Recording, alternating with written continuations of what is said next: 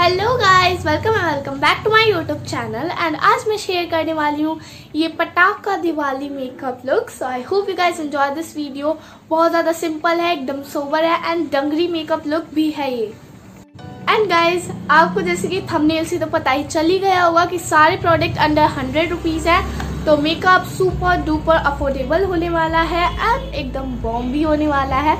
तो वीडियो को लाइक कर देना चैनल को सब्सक्राइब कर देना। So guys, without further ado, let's get started with the video. तो स्टार्ट करते हैं मेकअप सबसे पहले हम यूज़ करने वाले हैं अपना टोनर तो टोनर के लिए यहाँ पर मैं यूज़ करने वाली हूँ अंडर हंड्रेड रुपीज़ मेरे पास है अयूर का स्किन टोनर जो कि ऑल स्किन टाइप के लिए है. ये सबसे अच्छी बात है इसकी. एंड इसका प्राइस है फिफ्टी रुपीज़ ये आपको ऑनलाइन भी अवेलेबल है. तो मैं इसको यूज़ करने वाली हूँ.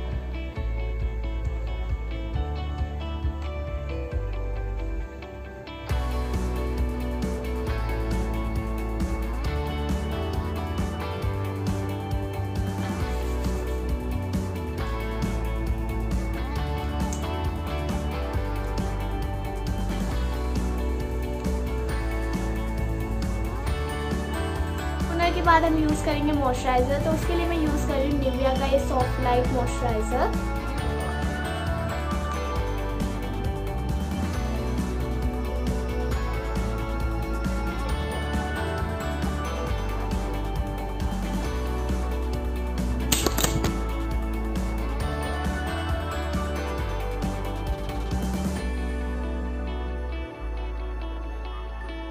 गाइस जैसे कि हम टीनेजर हैं तो हमें प्राइमर की इतनी ज़रूरत नहीं है क्योंकि हमारे इतने ज़्यादा पोर्स नहीं होते हैं। तो मैं यहाँ पर यूज़ कर रही हूँ पतंजलि का एलोवेरा जेल इसको एज हम प्राइमर भी यूज़ कर सकते हैं। मतलब ये हमारे प्राइमर्स के हिसाब से ठीक है।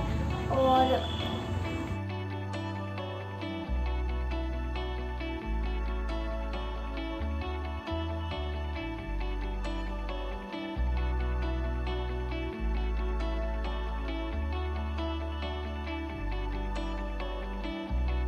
गाइज़ जैसे कि हम फाउंडेशन की इतनी ज़रूरत नहीं है, अगर हमारे ज़्यादा डार्क स्पॉट नहीं है या ज़्यादा हमें कवर अप नहीं करना है, थोड़ा लाइट अप सा ही मेकअप रखना है तो यहाँ पर मैं यूज़ कर रही हूँ ये Pond's white beauty BB plus cream जिसमें मेरा शेड है ज़ीरो वन ओरिजिनल इसमें आपको दो शेड अवेलेबल है, एक है मीडियम एंड एक है ओरिजिनल आप यहाँ पर देख सकते हो तो मीडियम थोड़ी डिस्क स्किन टोन के लिए है एंड ओरिजिनल मीडियम से फेयर स्किन टोन के लिए है। तो मेरा वाला शेड है ओरिजिनल आप अपने स्किन टोन के हिसाब से ले सकते हैं।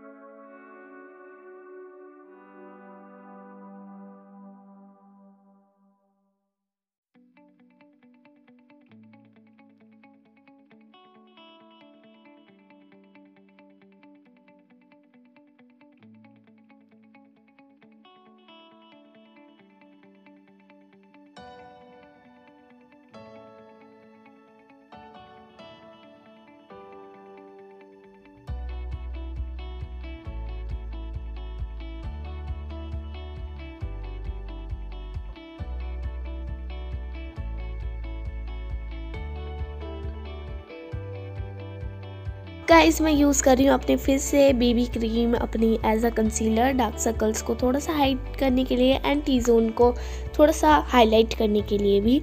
सो so गाइस मेरी आवाज़ आपको थोड़ी अजीब सी लग रही होगी क्योंकि मुझे हो चुका है कोल्ड एंड मैं सोच रही थी बाद में वॉइस ओवर कर लूँगी बट फिर मुझे ये वीडियो कल पोस्ट भी करनी है तो दैट्स वाई मुझे अभी करना पड़ेगा। तो या इसको मैं अच्छे से एक स्पंज की हेल्प से ब्लेंड कर लूँगी, अगर आप कंफर्टेबल नहीं है तो आप ब्रश की हेल्प से भी कर सकते हैं। तो अपने बेस को सेट करने के लिए यहाँ यूज़ कर रही हूँ मैं बाबू अपने बेस को सेट करने के लिए यहाँ पर यूज़ कर रही हूँ जॉनसन बेबी का पाउडर आप चाहे तो कोई भी कॉम्पैक्ट पाउडर यूज़ कर सकते हो। बट जैसे कि मैंने बताया, हम अफोर्डेबल कैटेगरी में जाएँगे तो अच्छे से अपने बेस को सेट कर लूँगी। एंड अगर आपकी एक्सट्रीम ड्राई स्किन है गाइज़ तो आप इसको सेट करना स्किप भी कर सकते हैं विंटर्स में। एंड गाइज़ मेरे पास कमेंट आ रहे थे, मैं एकदम बिगनर्स मेकअप दिखाऊँ, जिसमें बिल्कुल भी मेकअप नहीं होता, वो भी कर ले। तो ये मेकअप एकदम परफेक्ट है। अगर आप पे बिल्कुल भी मेकअप नहीं आता, तब भी आप इस मेकअप को कर सकते हो। बस लाइनर आप स्किप कर देना, क्योंकि हो सकता है आप लाइनर में गड़बड़ कर दो थोड़ी बहुत। तो अपने बेस को मैं सेट कर लूँगी, क्योंकि मुझे कंफर्टेबल फील नहीं कर आईब्रोज़ के लिए यूज़ कर रही हूँ यहाँ पे मी नाव की आईब्रो पेंसिल अगर आप मुझे पहले से मेरी वीडियोस को देखते आ रहे हो या मुझे पहले से फॉलो कर रहे हो तो आपको पता होगा कि मैं आईब्रो पेंसिल कितनी कम यूज़ करती हूँ। मतलब आईब्रो पेंसिल तो मैं बहुत ही ज़्यादा कम यूज़ करती हूँ, क्योंकि आईब्रो पेंसिल से मेरी आईब्रोज बहुत ज़्यादा मुझे डरमेटिक सी फील कराती है। मतलब टू मच सा लगता है। लेकिन मुझे अंडर हंड्रेड रुपीज़ करना था तो मैंने इसलिए इसको यूज़ करा था। बट अगर आप अच्छे से इनको पूली से ग्रूम कर लोगे तो अच्छे से आपका लुक मिलेगा। तो आ, मैंने एक स्टेप देखा कि अगर आप स्पूल मतलब पेंसिल से भरे उसके बाद आईब्रो स्पूली से अच्छे से कॉम कर लोगे तो एकदम सेट हो जाएँगे आपकी आईब्रो। तो मेरे को एक आईब्रो थोड़ी डार्क लग रही थी तो एक थोड़ी लाइट। तो उसके लिए हमें क्या करना है थोड़ा सा बेबी पाउडर ले लिया मैंने अपने हाथ पर एंड अपनी स्पूली पर लेकर अपनी आईब्रोज को कॉम कर दिया जिससे कि वो सेट भी रहेंगी एंड थोड़ी सी लाइट भी हो जाएँगी। एंड थोड़ा सा मुझे लगा कि ये वाली आईब्रो मुझे डार्क कर देनी चाहिए तो मैंने ये वाली आईब्रो थोड़ी सी डार्क भी कर दी एंड फिर से स्पूली की हेल्प से अपनी आईब्रोज को कॉम कर लिया। मेरी आवाज़ आपको चेंज लग सकती है क्योंकि मुझे कोल्ड हो रहा है। आ, मेरे को बहुत ज़्यादा हेडक भी हो रहा है यार। जैसे कि आपको पता है टीनेज की तो आईब्रो बनी नहीं होती तो मेरी भी आईब्रोज बनी हुई नहीं है। तो इनको एकदम फाइन लुक देने के लिए हम थोड़ा सा अपनी आईब्रोज़ को इस तरीके से हाईलाइट कर लेंगे, जिससे कि हमारी आईब्रो अगर आप थोड़ा दूर से देखोगे तो एकदम बनी हुई लगेंगी मतलब फ़ोटो वगैरह में एकदम आपकी आईब्रोज़ परफेक्ट आएँगी। एंड अच्छे से ब्लेंड कर लूँगी उसको। उसके बाद मैं अपनी लिपस्टिक को ही एज आई शेडो यूज़ कर एंड ये मैंने अपने लोकल मार्केट से ली थी लिपस्टिक इतना ब्यूटीफुल सा शेड है ये। उन्होंने मुझे वन टेन की बताई थी लिपस्टिक बट मैंने कहा से हो सकता है, बिना बार्गेनिंग करे मैं कोई सामान ले लूँ। तो मैंने ये हंड्रेड की लगवा ली थी, उन्होंने लगा दी थी। मतलब इतना तो यार चलता है, मैंने बीबी क्रीम भी उनसे ही ली थी। तो इतना थोड़ा बहुत तो कर सकते हो ना यार? जब आप सामान लेते हो तो इतना हो जाता है, ठीक है? आप थोड़ी सी बार्गेनिंग अच्छे से कर लो तो हो जाएगा आपका अंडर हंड्रेड रुपीज़ अच्छे से मेकअप उसके बाद मैं एक ब्लेंडिंग ब्रश की हेल्प से अपनी लिपस्टिक को ब्लेंड कर रही हूँ। अगर आप पे ब्रश नहीं है तो बिल्कुल भी टेंशन मत लो गाइज़ आप अपनी फिंगर से कर सकते हो। उसके बाद यूज़ कर रही हूँ मैं यहाँ पे ब्लू हेवन का लिक्विड आईलाइनर ठीक है? जिससे मैं अपना आईलाइनर ड्रॉ कर लूँगी अच्छे से। एंड आप देख सकते हो, बहुत पतली सी विंग मैंने ड्रॉ करी एंड पीछे से कोई भी आवाज़ आ रही है, उसके लिए सॉरी क्योंकि मेरी हालत अभी इतनी अच्छी नहीं है कि मैं फिर से वॉइस ओवर करूँ। एंड मेरे को कोल्ड हो रहा है यार प्लीज़ सॉरी एंड आपको पता ही है करवा चौथ में ना बहुत ज़्यादा पार्लर्स पर भीड़ रहती है तो मैं पार्लर में काम करके आई हूँ एंड अब बज रहे हैं आठ। अभी थोड़ा सा मुझे रेस्ट मिल रहा है तो मैं इसमें वॉइस ओवर कर रही हूँ, इसलिए मेरी आवाज़ इतनी थकी सी एंड भारी सी हो रही है। ठीक है? तो अच्छे से अपनी आई को मैं कलअप कर लूँगी एंड अगर आपने करवा चौथ मेकअप लुक नहीं देखा तो यार उसे भी चेकआउट कर लो, अपनी मम्मी को इस बार करवा चौथ पे ऐसा ही तैयार करना है, ठान लो ये बात। उसके बाद मैं यूज़ कर रही हूँ यहाँ पे कलर आर्ट का मस्कारा ये अंडर हंड्रेड रुपीज़ है सारे प्रोडक्ट जैसे कि मैंने आपको बताया। यार, पता नहीं इतनी बैकग्राउंड में आवाज़ क्यों आ रही है। और मेरी नोज़ी भी आ रही है। तो अब मैं यहाँ पे यूज़ कर रही हूँ एस एफ़ आर की ब्लशर किट कुछ लोग तो कहेंगे, मैंने चीट कर लिया। बट अगर आपका हिसाब लगाते हो तो आपको ना फिफ्टी रुपीज़ का एक पोर्शन मिल रहा है। एंड इसमें चार पोर्शन है। तो मुझे फिफ्टी रुपीज़ का ब्लशर मिल रहा है, आप हिसाब लगाओ। एंड फिफ्टी का हाइलाइटर मिल रहा है तो एक मेरा ब्लशर तो फिफ्टी का हुआ ना, ठीक है? तो मैं ब्लशर लगा लूँगी। एंड अगर आपको लगता है मैं चीट कर रही हूँ ब्लशर नहीं लगा सकते तो आप एक काम कर सकते हो अपनी लिपस्टिक से भी ब्लशर लगा सकते हो। तो अंडर हंड्रेड रुपीज़ आपको ब्लशर वैसे मिल जाएँगे ब्लू हेवन एडियस के बट फिर भी मैं आपको ऑप्शन दे दूँ उसके बाद थोड़ा लोअर लैशेज में, हल्का सा तो मेकअप करना बनता है ना तो हल्का सा लिपस्टिक लेके एक ब्रश की हेल्प से लोअर लैशेज में भी कर रही हूँ। एंड आप फिंगर से भी कर सकते हैं, जैसे कि मैंने आपको बताया, क्योंकि टीनेजर्स के पास इतने प्रोडक्ट नहीं होते हैं तो इसलिए मैं आपको बता रही हूँ, अगर आपके पास ब्रशेज़ नहीं है तो कोई बात नहीं।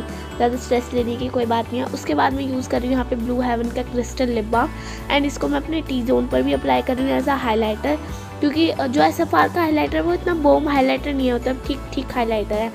एंड ये मैंने वीडियो आज ही शूट करी थी।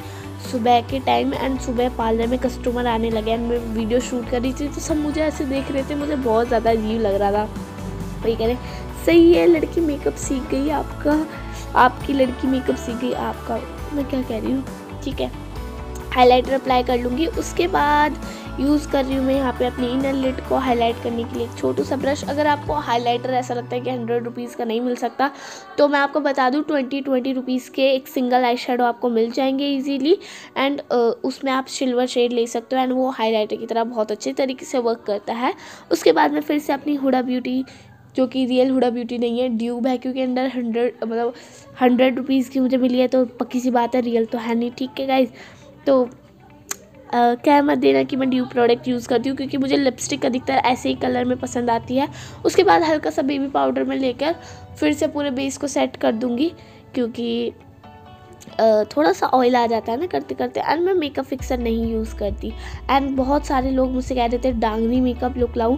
तो ये डांगरी भी है इसमें, आप इसे डांगरी पर भी कर सकते हो। मतलब डांगरी के लिए स्पेशल मेकअप लुक करने की ज़रूरत नहीं है। आप किसी भी मेकअप को डांगरी के साथ पेयर अप कर सकते हो। यहाँ पर मेरी पिंक लाइट नहीं पिंक नहीं बेबी पिंक कलर की डांगरी है, जो कि बहुत अच्छी लगती है, आप देख सकते हो। एंड ये है मेरी दिवाली की dress so I hope you guys enjoy this video love you take care bye bye